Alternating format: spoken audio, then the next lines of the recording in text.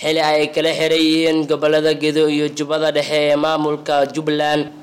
Ayna jirin gargaar la gaarsiiyey deegaano qaar ee hoostiga gobolka gedo ee maamulkaasi. Ayaa waxaa cabasho ay ka soo yeertay wasiirka wasaaradda gargaarka iyo maareynta musiibooyinka dowlad goboleedka jubbaland cabdiraxmaan cabdi axmed.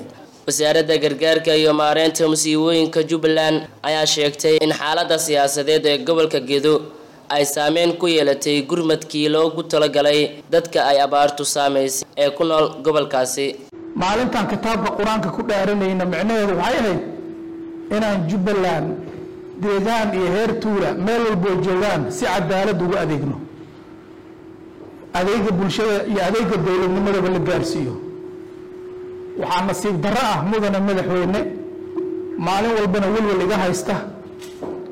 Aaqaradeydana aan u cabsado dadkii aan u dhaartay ee soomaaliyeed ee reergado inaan maanta tegi karin adeeg aan gaarsiin karin caruurtii ay abaar u dhammaanayso bulshadii ay rafaadsan yihiin niman dana gaar watana ay siyaasadeen aanay u caddayn dhibaatada ummadda haysato.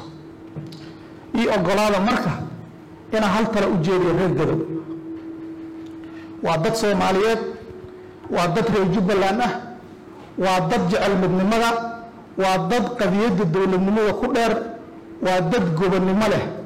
Markaan saalahayna maaha inaan gado ammaanayo ama aan soo jiidanayo gado waan ka shaqeeyey.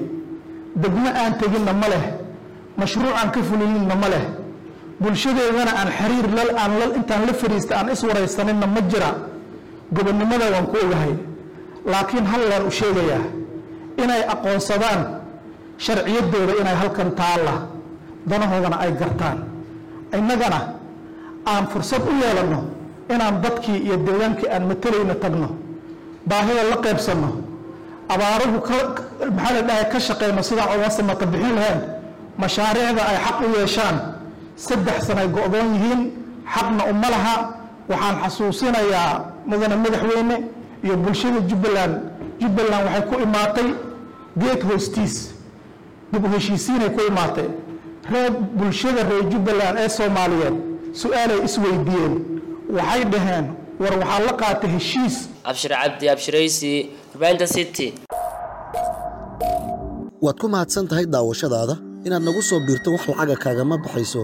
Keliya waxaad u baahan tahay inaad falow saarto boggeenna facebook ama aad sabskraib dhahdo janaalkeenna youtub adigoo bartilmaameedsanaya city somaali t v an rediyo la jaanqaad warbaahinteenna oo hel warar iyo barnaamijyo adiga kaa hadlaya